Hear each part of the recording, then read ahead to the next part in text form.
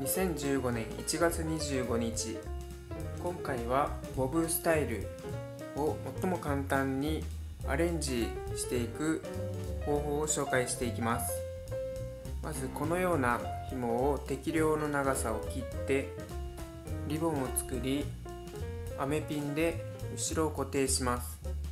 でモテ髪フェアの代表耳をちょっとちらっと見える感じでかけてそこに先ほどのリボンをつけてあげます。でかけ方にもいろいろ種類があるんですけど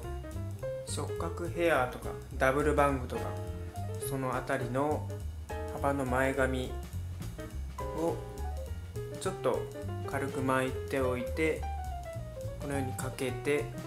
つけるとこんな感じです。子供から大人までリボンの色とか種類によってアレンジの応用も効くので是非やってみてください。今回は以上でした。